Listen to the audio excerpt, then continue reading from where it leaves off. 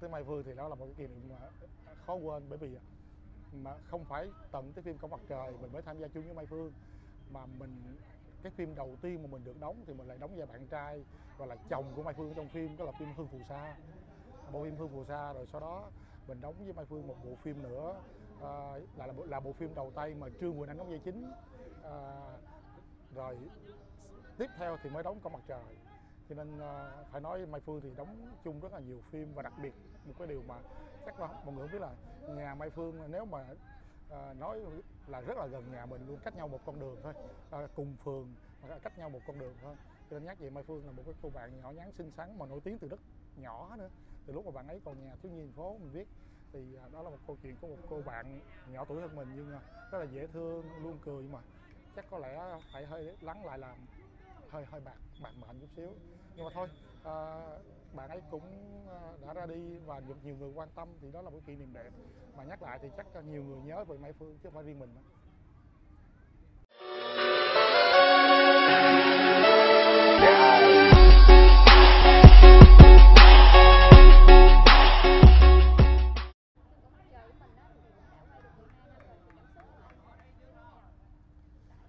Chà, giờ này bất chợt à, đang đá banh mà ngồi cái dĩa lao thở không ra hơi mà giờ nhắc tới cổng mặt trời hả? À, cổng mặt trời đó là một cái kỷ niệm à, của cái thời mà các bạn sinh viên ngày xưa chắc là sẽ nhớ nhiều hơn thì bây giờ thì à, cuộc sống nó phát triển công nghệ thông tin hiện đại quá thì khó còn cái cảnh của ngày xưa. À, nhắc tới cổng mặt trời thì bây giờ thì các bạn diễn viên thì à, mỗi người một công việc cũng lớn hết rồi. Người có gia đình có con rồi những người có những cái chí hướng khác nhau nữa thì à, cái cảm xúc nhắc tới phim Con mặt trời đó là một cái phim mà cũng gắn liền và đưa tên tuổi của rất nhiều bạn à, khiến khán giả biết nhiều hơn. Bây giờ thì mình cũng qua cái tuổi sinh viên nhiều năm lắm rồi, mà bất chợt mà nhắc lại Con mặt trời thì cũng nhớ đó là một kỷ niệm khó quên. Một bộ phim truyền hình mà cái thời đó thì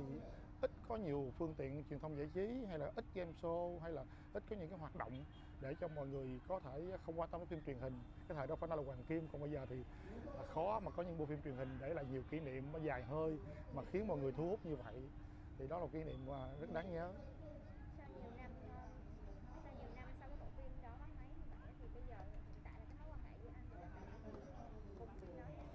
À, bây giờ thì anh em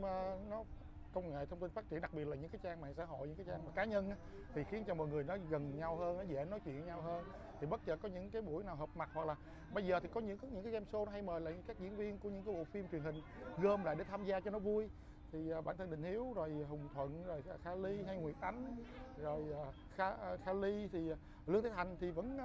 vẫn đang đi phim. Thì có một số phim thì anh em gặp nhau như vừa rồi thì mới đi phim chung với Ngọc Lan với Tú Vi. Thì bây giờ để mà gom lại 11 người như ngày xưa thì khó. Nhưng mà nếu dụ ba bốn hay năm sáu bạn để tham gia chung một game show hoặc là một cái phim truyền hình thì vẫn còn thường xuyên gặp nhau. Thì anh em vẫn quý mến nhau chứ còn Ờ, trong nghề với nhau mà trái đất nó tròn đi vòng vòng còn còn gặp nhau ngoại trừ là mình đi đâu đó hoặc là mình không tham gia nữa thì mới khó gặp nhau thôi. Chứ bây giờ không gặp nhau được thì ý ới nhau vẫn còn được cho nên đó, là một kỷ niệm đẹp một tình bạn đẹp. Cho nên à, có nghĩa là à, không ngoại trừ có những xích mích gì đó thôi chứ còn nếu không thì vẫn cứ là anh em bạn bè tốt của nhau mà.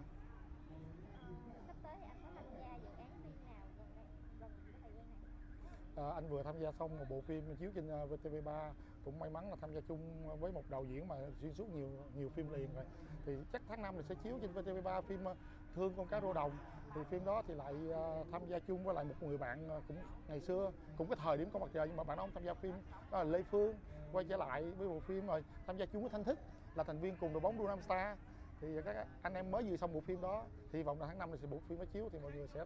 à, theo dõi trên kênh truyền hình Việt Nam nhưng mà bộ phim về miền Tây sông nước thì mọi người đón xem.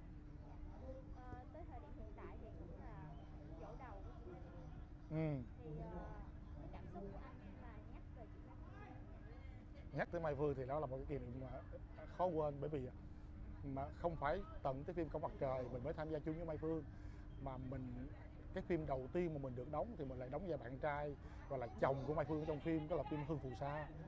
bộ phim Hương Phù Sa rồi sau đó mình đóng với Mai Phương một bộ phim nữa. À, là là bộ, là bộ phim đầu tay mà Trương Quỳnh Anh đóng vai chính. À,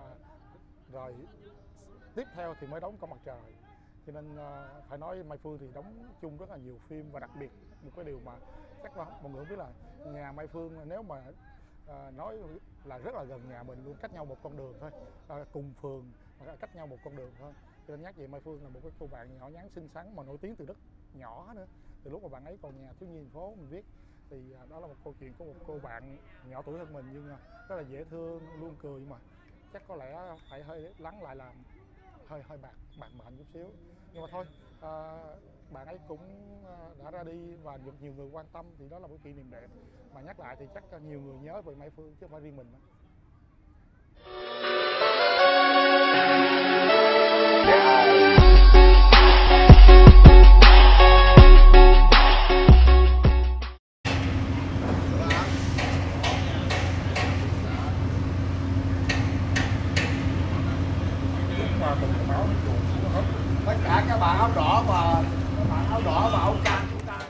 Thì đây là một cái hoạt động à,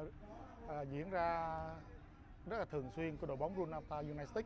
À, bản thân mình là một thành viên của đội bóng. Thì à, khi mà biết có một cái à, phong trào kêu gọi à, mọi người ủng hộ chung tay với nhau à, góp một phần công sức để à, kêu gọi mọi người quyên góp cho cái việc mua vaccine à, để mà hỗ trợ cho cái việc mà toàn dân mình phòng chống à, dịch Covid này thì à, là một thành viên của đội bóng. Rồi được à, mọi người kêu gọi thì à, và cũng phải phải phải nói là bản thân cũng à, chống lịch nữa thì mình sắp xếp mình tham gia. Thật ra thì một cái hoạt động thể thao à, vui khỏe mà còn có ý nghĩa nữa thì không lý do gì không tham gia. À, một trận đấu bóng đá giúp cho tất cả các thành viên trong đội bóng ờ, đoàn kết với nhau hơn à, tạo mối quan hệ giao lưu với những đơn vị bạn như đội bóng bạn. Đó là một mục đích rất là vui khỏe hàng tuần hàng ngày rồi. Mà lại còn có thêm ý nghĩa cao đẹp nữa là góp một phần công sức để kêu gọi mọi người ủng hộ cho một cái chiến dịch hành động thật sự có ý nghĩa nữa thì ta nghĩ rằng là một trận cầu ngoài cái việc vui khỏe thì nó còn nâng cái tầm lên là một trận cầu thật sự có ý nghĩa để mọi người à, đóng góp một phần à, nhỏ bé của mình vào thì nên tham gia và tham gia bằng hết khả năng của mình.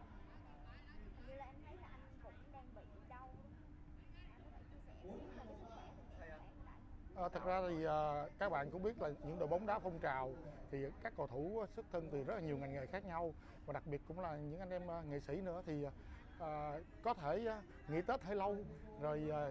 à, không thường xuyên tập luyện thì khi mà quay trở lại thì nó có vài một trục trặc về sức khỏe. Ví dụ như có thể sẽ bị à, à, chày da chóc vảy à, bong gân đau cơ hay là giãn gân hay là sưng bắp đó là những chuyện rất bình thường mà nếu bị chấn thương thì cách tốt nhất là à, cái lời khuyên tốt nhất của mọi người là nghỉ ngơi à, tịnh dưỡng tập chăm chỉ để nó phục hồi rồi hãy ra sân chứ đừng có cố ra sân rồi cái vết thương nó càng nặng hơn nữa.